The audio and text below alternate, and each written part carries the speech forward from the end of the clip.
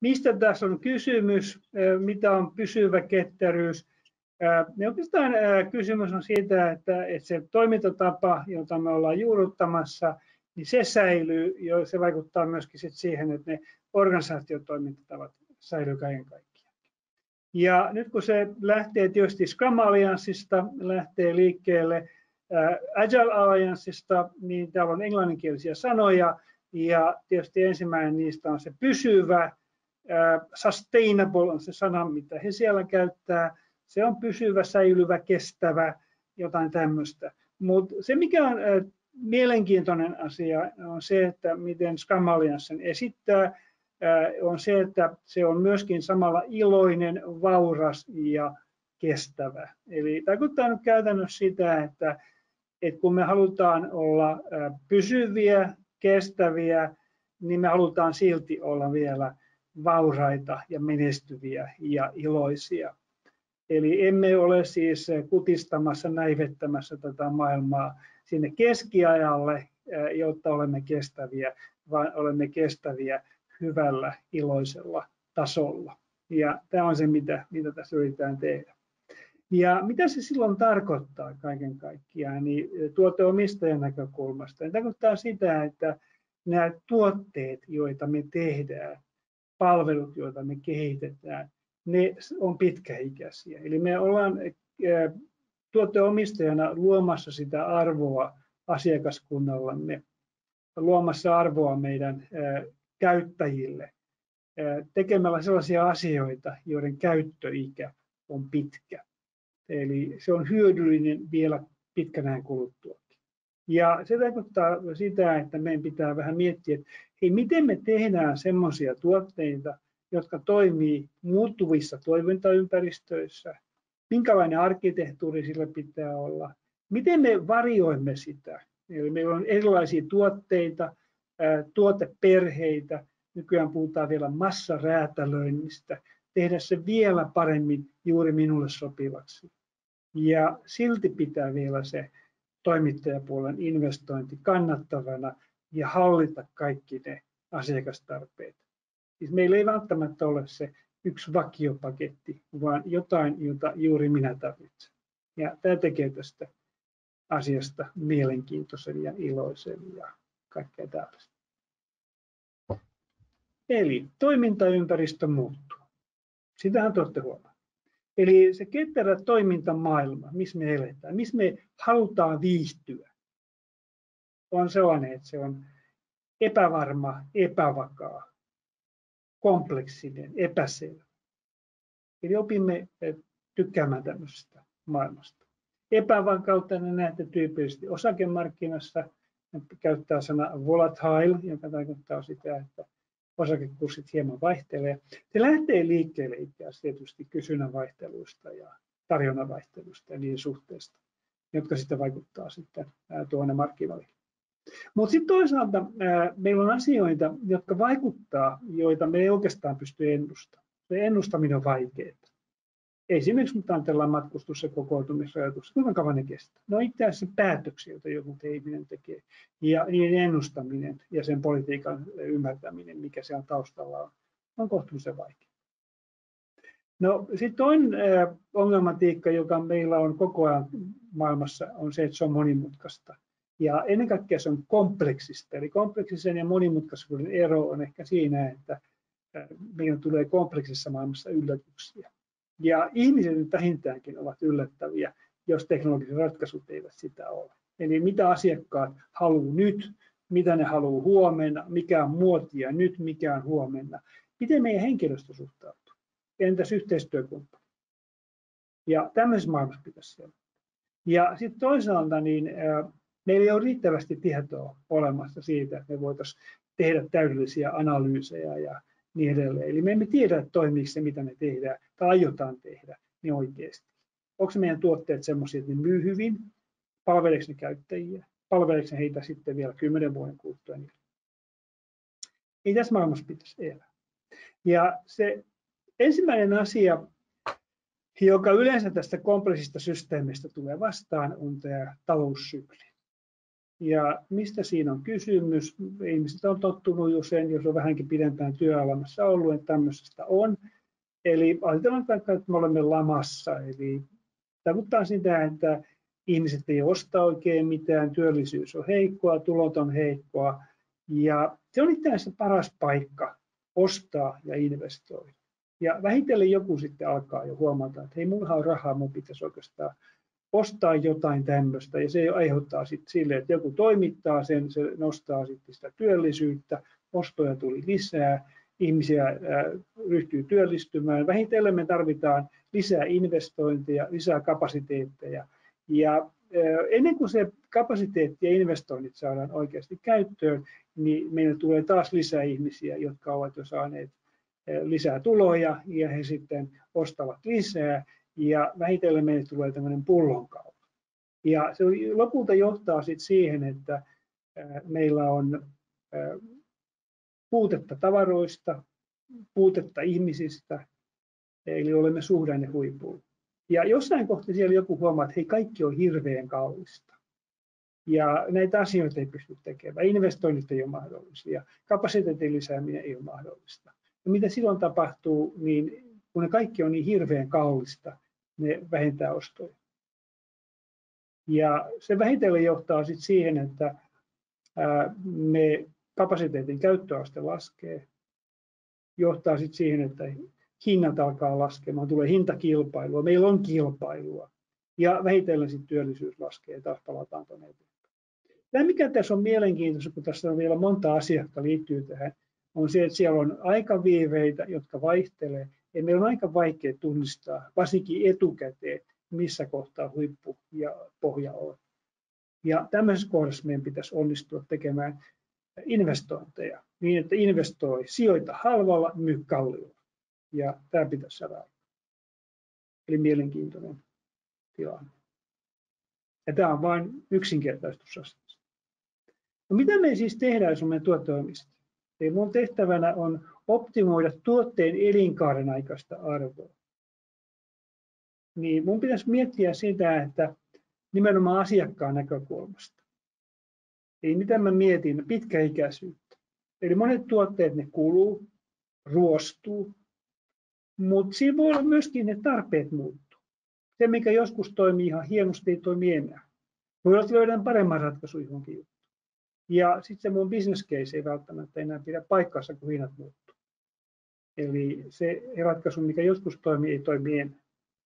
Ja tarkoittaa nyt sitä, että ohjelmistothan ei periaatteessa kuluu, mutta ne ränsistyy. Eli teemme näitä korjauksia, nopeita pikakorjauksia, tulee teknistä velkaa, jolloin ylläpitäminen muuttuu hankalammaksi, vaikeammaksi ja myöskin ohjelmisto voi rämettyä. No helppohoitoisuus, jos mietitään, että ohjelmistoissa varsinkin, niin omistajuuden kustannus on 80 prosenttia kokonaiskustannuksista. 20 prosenttia tulee siitä alustavasta projektista. Ja, ja se tarkoittaa silloin sitä, että meidän pitää pahasti kiinnittää huomiota siihen, kuinka paljon se järjestelmän ylläpito oikeasti maksaa. Tämä tietysti koskee myöskin mitä tahansa, vaikka nyt sitten autoa tai taloa tai niin edelleen. Eli lopulta aika usein tämä joku tuote romutetaan sen takia, että korjaukset ei ole enää kannattavia, tai sitten siitä, että meillä ei ole enää varauksia saatavissa. No ohjelmistoilla myöskin lopettaa, emme ylläpidä tätä tätä Windows-versiota tai Oracle-versiota ja niin edelleen. Osaajia ei ole enää löydyvissä COBOL-ohjelmointia ja niin edelleen. No sitten tota, meidän tuote saattaa menettää markkinakilpailukykynsä sen takia, että me ei pystytä käyttämään sitä uusissa tilaisuudessa. Eli asiakas toteaa, että hei, me ollaan pikkusen kasvettu, me haluttaisiin tämä nyt globaaliksi. Okei, pystyykö se tuote skaalautumaan? Vai onko se niin, että okei, asiakas ostaa uuden tuotteisen tilan? Ja me mietitään sitä, että kuinka hyvin se meidän tuote sopii eri tilanteeseen sellaisen. Eli kuinka helppoa ja edullista ja kallista, nopeata tämän mukavuksen tekeminen on. Tarvitaanko me ohjelmiston muutos? Onko se konfiguroitavissa? Onko se käyttäjän itsensä tehtävä? Kaikki tämä vaikuttaa siihen, kuinka hyvä ja hyödyllinen ja arvokas tämä on. Eli tuoteomistaja optimoi tuotteen elinkaaren aikaista arvoa. Ja tästä on tällaista. Miten se tehdään? Se lähtee siitä rakenteesta. Se on yksinkertainen perusidea, eli modulaarisuus. Tuote koostuu itsenäisesti korvattavista olevista osista. Ne on julkaistavia inkrementtejä, on Scrumbin terminologia käyttää. Pieniä itsenäisiä osia. Jos me mietitään sitä, niin mitä me tarkoittaa? Ensinnäkin, kuinka monta osaa? Onko sopiva määrä? Mikä sopiva määrä? Riippuu tietysti tuotteesta, asennuksen hinnasta, tuotteen hinnasta kaiken kaikkiaankin. Mutta niin lähtökohta on sellainen, jokaiselle tuotteelle mietitään, kuinka monesta osasta se kannattaa tehdä. Sitten tämä huolettavuus. Oikeastaan mä haluaisin, että mun tuotte olisi ikuinen, eli se on koko ajan erinomaisessa kunnossa, mutta myöskin niin, että se on alkuperäistä parempi. Eli mä laitan sinne jotain uusia ominaisuuksia, joita on saatavissa vain uusissa tuotteissa. Ja mä en haluaisi välttämättä luopua siitä vanhasta tutusta ja toimivasta olemassa olevasta tuotteesta. Ja mitä ne voisi olla? PC on itse asiassa erittäin hyvä esimerkki modulaalisuudesta. Siinä on ohjelmistoja, joita voi ostaa irrallaan, erikseen, ihan riippumatta siitä, että mikä se PC-merkki siellä on. Siinä on yleensä kotelo, jossa on emolevy, johon laitetaan lisäkortteja ja oheislaitteita. Ja jo tällä saadaan erittäin iso variaatio siitä, minkälainen se PC loppujen lopuksi on. Ja voidaan vähitellen vaihtaa uusia näytönohjainkortteja, verkkokortteja, erilaisia oheislaitteita, verkkokameroita ja niin No, tota, matkapuhelinverkko poikkeaa ehkä vähän tästä. Siellä on hinta laskenut. Ja alkaa mennä siihen, että ne pyrkii puhelintoimittajat siihen, että ihmiset uusis puhelimessa mahdollisimman äkkiä. Kyllä mä tarvitsen uuden puhelimen vähintään joka kolmas vuosi, vähintään joka toinen vuosi. Ja yksi tapa tehdä se on se, että tehdään, liimataan akku sinne kiinni. Eli kun akku menee huonoksi, niin pitää vaihtaa puhelin, koko puhelin. Ja jos puhelin on riittävän halpa, niin joo, se vaihtaminen maksaa jo niin paljon, että se ei välttämättä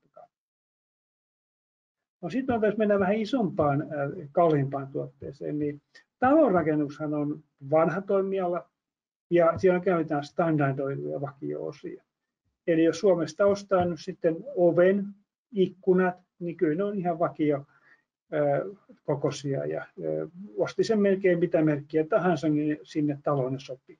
Ja nyt siellä myöskään sitä asentamista ei ole kauheasti rajoitettu, että siinä pitää olla lisenssoitu asiantuntija, joka saa tehdä sen, vaan sen voi nyt lähes kuka tahansa vähänkään näppävämpi ihminen tehdä. Yleensä nyt kuitenkin semmoinen ihminen, joka on joskus tehnyt jotain tämmöistä.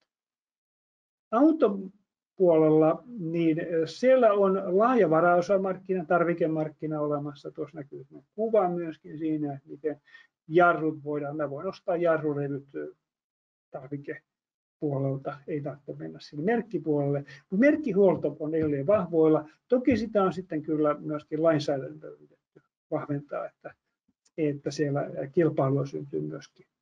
Koska muutenhan me tehdään sitä, että me uusitaan auto joka kolmas vuosi, joka on tolkuttoman kallista ja tarpeetonta.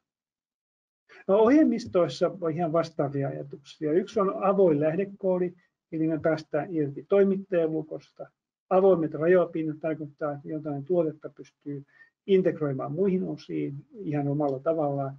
Ja mikä vielä on tärkeämpää, on ne alustat. Meillä on tullut tällaisia alustasysteemejä, jotka mahdollistavat, että me voin siirtää ohjelmistoni, säilyttää investointini siirtymällä alustalta toiseen. Myöskin se, että me tehdään niitä tuotteita koostamaan. Eli mikroinkrementit, eli pieniä mikropalveluita, joita me tehdään sinne. Me voidaan vaihtaa niitä, laajentaa niitä, levittää niitä, asentaa niitä hyvinkin joustavasti. Eli me tarvitaan sellaisia tuotteita, joissa me turvaamme tehdyt investoinnit, koska niiden korvaaminen on kallista, vaikeaa, hankalaa, mahdotonta. Ja jotain tämmöistä meidän pitää miettiä. No jos vähän mietitään sitten vähän, mitä tässä etsitään. Eli jos ajatellaan niin pyramidia, niin se varmaan kestää monta tuhatta vuotta on kestänyt. Sen jokainen lohko on kestävä, todella kestävä. Okei, marmorit on rapissut pois, mutta sieltä löytyy edelleen se graniittirunko. Pysyy hyvin tarkka. No, jos mennään vähän toiseen suuntaan, niin mitä me etsitään, niin on sitä, että me pystytään korvaamaan niitä asioita hyvin helposti. Esimerkiksi lamppu käsitteenä. Siis lamppu on irrallinen, se ei osa sitä ää, koko tuotetta. Ja se hehkuosa siinä, se voi vaihtaa sen. Ja se toimii myöskin niin, että mä vaihdan uuden teknologian, sinne LED-teknologian, niin se toimii vieläkin. Ja yritetään tehdä semmoinen vaihtaminen sinne, että se on mahdollista. Kun lamput, lamput siis tuhoutuu nopeasti ja sitten se mekaniikka ja elektroniikka säilyy 50 vuotta, 100 vuotta, niin silloin me vaihdetaan näitä pieniä osia, joita pitää vaihtaa kerran vuodessa, niin nopeasti tuota. No vastaavalla tavalla niitä käytetään siis vakio-osia, esimerkiksi tosiaan talotehtailla, ne käyttää myös määrämittaisia materiaaleja, standardeja. Se on ihan sama kuin ohjelmistopuolella tehdään myöskin tässä. Joskus me etsitään sen sijaan sitä, että me saataisiin tehtyä jotain tuotantoon nopeasti, eli 3D-printtaus. Se on elektroniikka, mekaniikka, puolella hyvin idea, mahtava idea itsessään. Koodigeneraanit on vastaava asia ohjelmistopuolella. Niin täällä on tarkoitus sinänsä, että jos meillä on suunnitelmat olemassa, me saadaan se tuote monistettua nopeasti. Eli tehdään sitä rakennuskustannusta pienempi. Mutta yksi asia, mikä talonrakennuspuolella on mielenkiintoinen, on sitten amerikkalainen mobile home. Eli se oikeastaan tekee sen, että se irrottaa sen talon, joka on siis pitkä elinkaarella oleva kulutushyödyke, siitä, minkä arvo nousee, eli tontti. Eli sijainnin arvo nousee koko ajan ja sitten kuitenkin se talo ränsistyy. Ja nyt tuota, millä ne pystyy mätsäämään tämän homman, ne siirtää talon paikasta toiseen, jolloin me voimme rakentaa sen halvalla ja tuoda sen kalliseen paikkaan, jolloin se on arvoltaan suurempi. Eli tämän kytkennän pilkkominen on yksi idea, minkä takia esimerkiksi amerikkalaiset käyttävät näitä mobile home juttuja. Eli oikeastaan se, mitä me etsitään tässä koko ajan, on se, että niitä osia pitäisi pystyä korvaamaan itsenäisesti. Niin kuin lamppuja, korvaa se yksi lamppu. Toivottavasti koskisi myöskin auton lamppuja itse. Eli tuote ei siis ränsisty, se on koko ajan uudenverossa kunnossa. Se on jopa parempi kuin alkuperäinen, koska mä olen vaihtanut niitä asioita. Eli mulla voi olla tosiaan siellä vanhassa talossa, joka olisi vaikka rakennettu 1900, niin mikroaaltouuni ja televisio valokuituyhteys ja kaikkea muuta tämmöistä. Ja ne osat, niin, mitkä on seinät, niin ne on uusittu, on tehty pintaremontti, se näyttää ihan hyvältä. Ja se runko saattaa olla hyvinkin pysyvä. Ja toivottavasti vielä sellainen, että se voidaan vaihtaa silloin, kun se tarvitsee vaihtaa. Niin se on vähän niin kuin ajatella jotain eläintä tai ihmistä. Eli solut uusiutuu koko ajan ja tämä pitkä elinkaari, mitä ihmisilläkin on, niin perustuu paljon siihen, että solu toisensa jälkeen uusiutuu ja aina tulee uusia soluja tilaa. Eli jotain tämmöistä on pitkäikäistä. No sitten lähdetään miettimään sitä, miten me saataisiin sitä myytyä useampia tarkoituksia. Mulla on perusrunko ja peruskomponentteja olemassa. Niitä on usein ohjelmistokirjastoissa, mä käytän niitä. Eli tarkoittaa sitä, että tuote tai sen osat pystytään koostamaan erilaisiin asiakastarpeisiin tilaan. Eli mitä se ohjelmistopuolella tarkoittaa, niin on sitä, että meillä on eri kieliversioita samasta ohjelmistosta. Niin meillä on asiakaskohtaisia versioita, joissa nimenomaan tyypillisesti on se, että ne integraatiot asiakkaan muihin järjestelmiin on hoidettu.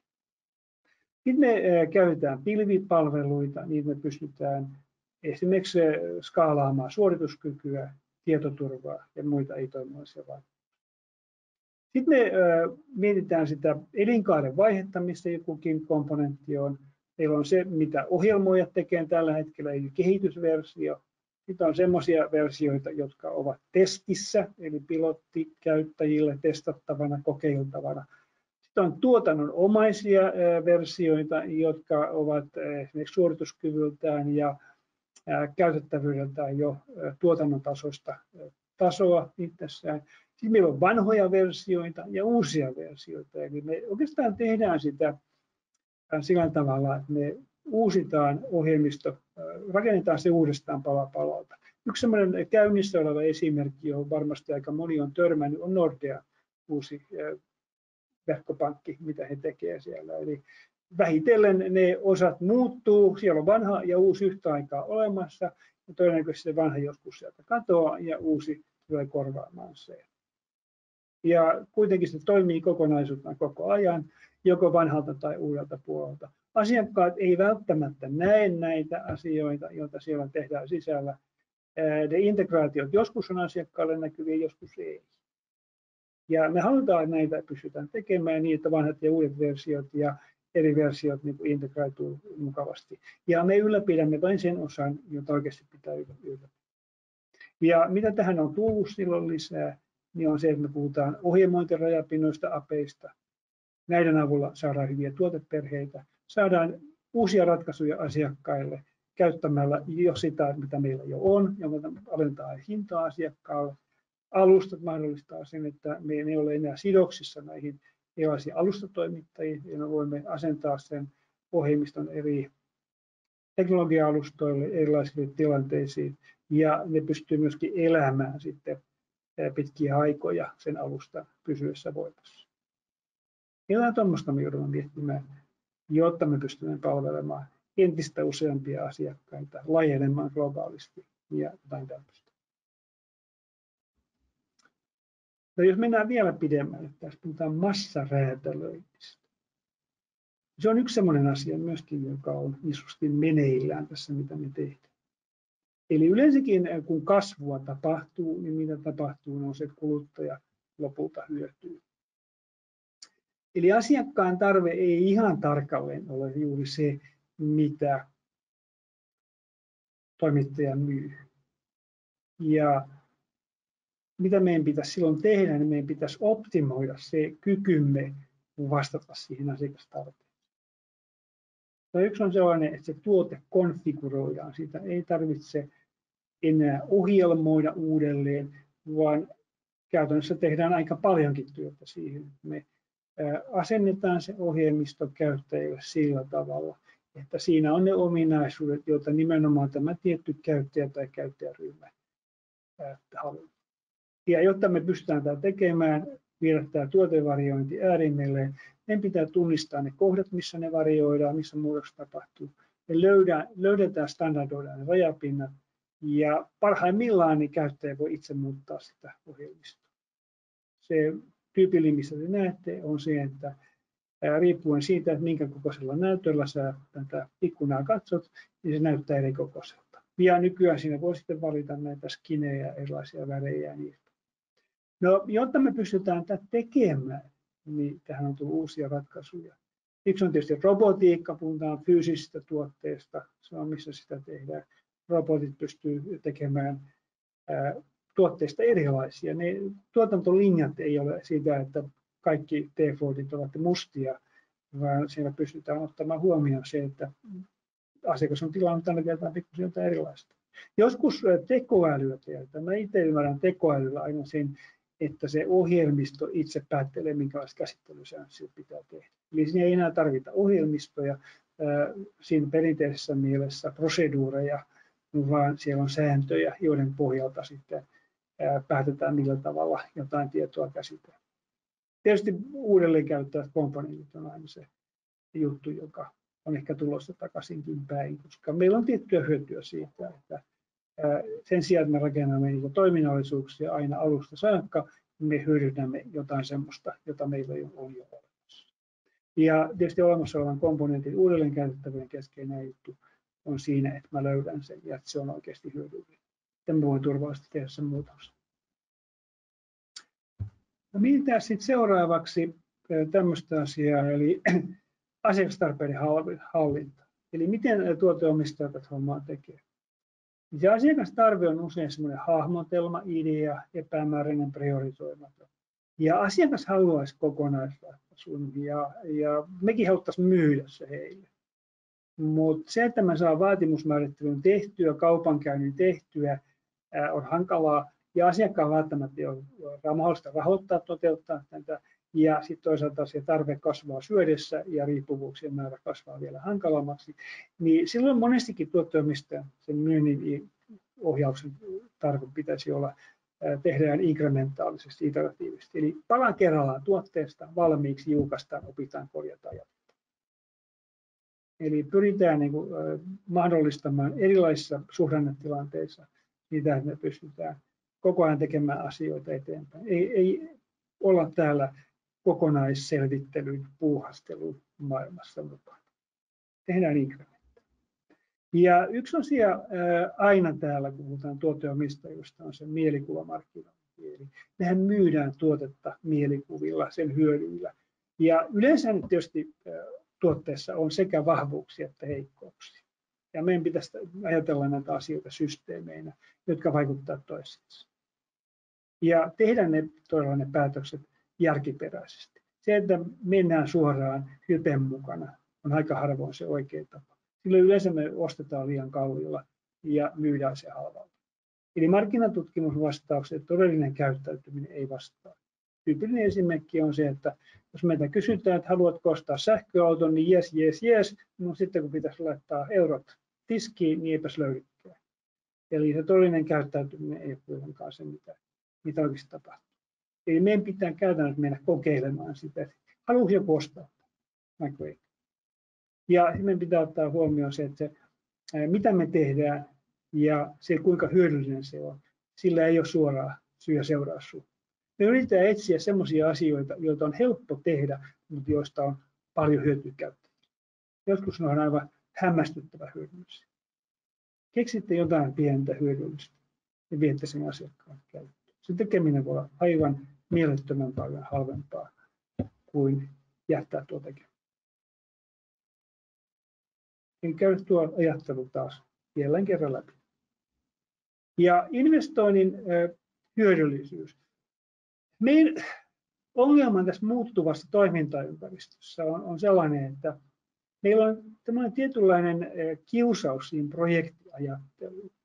Ajatellaan projekteina näitä asioita. Eli me jätetään ää, tuote ränsistymään. Ei meillä ole nyt varaa tuotekehitykseen. Ja, ja tosiaan se kysynnän vaihtelu suhdannessykli, on kuitenkin osa meidän jokapäiväistä todellisuutta. Ja jos me ollaan taantumassa, niin jätetään kehittäminen tekemään. No se on tietysti tuota, ää, mitä siellä tehdään. Yksi on semmoinen, mitä tehdään, niin on se, että ruvetaan ulkoistamaan asioita. Se muuttaa niitä kiinteitä kuluja muuttuviksi kuluiksi. Eli meillä ei ole sitä henkilöstöä enää siellä. Eli ihmisten urakehitys heikkenee ja kaikkea muuta tällaista. Ja sitten jälkikäteen me huomataan, että hetkinen, kun me ulkoistimme tämän, niin, niin palveluita ei olekaan enää saatavilla. Hintakehitys on myöskin. Olet ehkä huomannut jossain, kun on tehty ulkoistus, niin sen jälkeen hintakehitys aivan kauhittavan iso. Jotenkin tulee sähköverkkoyhtiöt mieleen tuossa.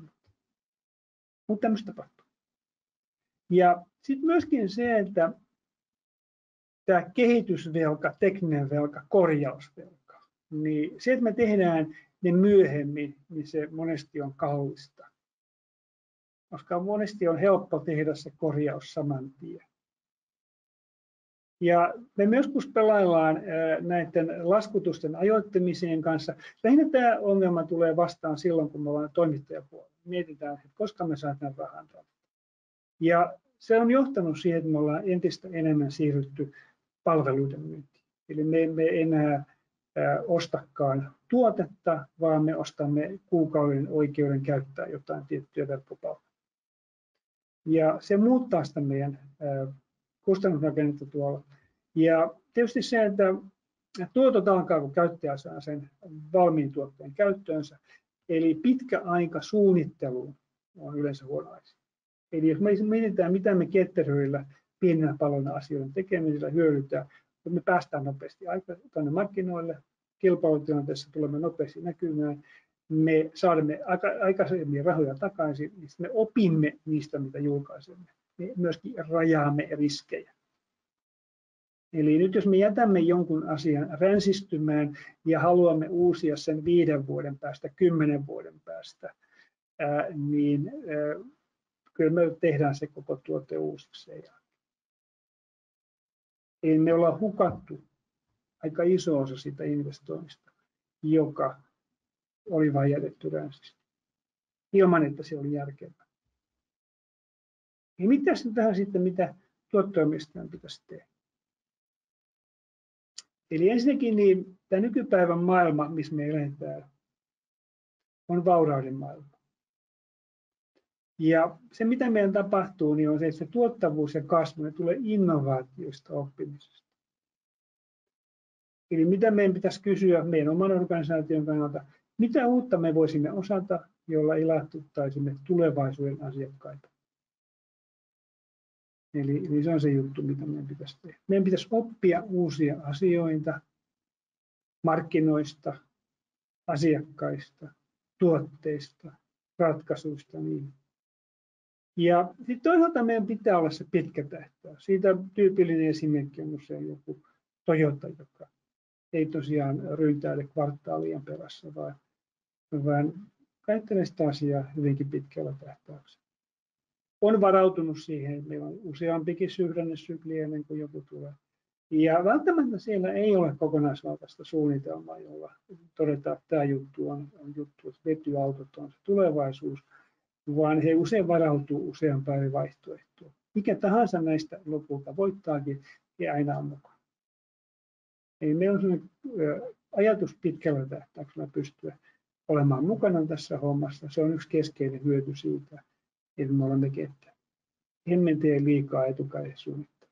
Mutta sitten mitä tuoteomistajan pitää, heillä on lyhyt ja mukautuva kehitysjono. Siellä on pitkän tähtäyksen visiot olevassa, mutta nimenomaan mitä me tehdään, niin on se, että me emme jää tulemaan makaamaan, kun maailma muuttuu. Joskus me vaan pitää pystyä reagoimaan nopeasti. Eli millä me mittaamme, kuinka ketteria me olemme? Monestikin sillä, että kuinka nopeasti kehitysjono etenee ideasta tuotanto. Mikä on se läpimenoaika siellä? Sitten meidän pitää vähän ajatella sitä meidän omaa tiimiä. Yleensä skummissa niin jokaisella tiimillä on oma tuoteomistajansa. Ja me etsitään sitä hommaa niin, että tuoteomistaja etsii tälle tiimille työtä. Ja mitä hänen pitää tehdä, niin tasoittaa työtä. Eli on tilanteita, joissa töitä on vähän vähemmän. Silloin me opimme uutta, tutkimme, kehitämme ja joskus me ollaan aivan hirvittävän kiireisiä. Silloin me taas priorisoimme toisella ja joskus me ollaan niin sanotusti ylläpitomoodissa, mutta kyllä me siinäkin jotainkin hyödytään siitä. Meillä on Scrumin palautteet ja retrospektiivit mukana. Joskus me tarvitaan suunnittelua, joka saattaa nyt olla ehkä enemmän priorisointia kanban mielessä kuin ihan aitoa Scrumia, mutta jotain kuitenkin tällaista. Ja sitten me halutaan niitä toimituksia nopeasti. Suhdantevaihteluiden kanssa on ikävää, jos me ollaan tehty vain dokumentteja, suunnitelmia ja sitten se todellinen tekeminen jää pois. Ei tule paljon hukkatyötä itse. On teknistä velkaa, eli me elämme vanhassa teknologiassa. Sitten on toiminnallista velkaa. Todellista velkaa voi miettiä kahdella tavalla. Se on korjausvelka, joka on ehkä teknistäkin, mutta se, että meiltä puuttuu ne uudet ominaisuudet, joita nykypäivän asiakkaat vaatii meidän tuottaa. Sitten toinen ongelmatiikka, mikä meidän suhdannevaihteluissa on se, että me niin kuin lokeroidutaan sinne omaan komeroon, omaan työntilaan siellä. Ja meillä niin kuin suhteet sekä siihen tiimiin, kehittäjiin että asiakkaisiin. Me emme enää tiedä, mitä teknologiassa tapahtuu, me emme tiedä, mitä asiakkaassa tapahtuu. Ja nyt jos ajatellaan että tosiaan maailmaa, joka on prosperous ja sustainable, eli vauras, niin nykypäivän asiakkaat ei ole sellaisia, että heitä voi käyttää hyväksi. Eli me aina tuottoimistona etsitään arvoa asiakkaan. Emme yritä miettiä, miten saisin asiakkaalta enemmän rahaa näistä nykyisistä tai entistä niukemmista palveluista. Yleensä kilpailu nykypäivän maailmassa toimii. Joku keksii sen kuitenkin. Ja se ei johda hyvään tulokseen.